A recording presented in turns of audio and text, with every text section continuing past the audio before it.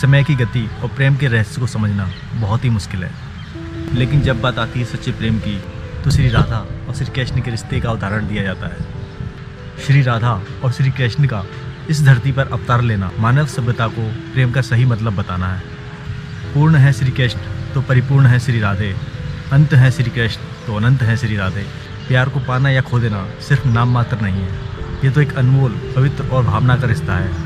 जिसमें ना कुछ पाने का भाव होता है और ना कुछ खोने का। जिसके प्रति प्रेम भाव होता है, उसके तो सिर्फ़ नाम मात्र से ही आत्मा को परमानंद प्राप्त हो जाता है।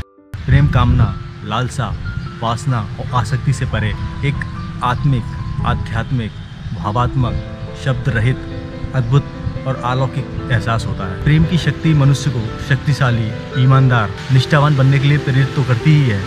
साथ में उसके मन, चित्त और हृदय को एक सुंदर अनुभव प्रदान करती है।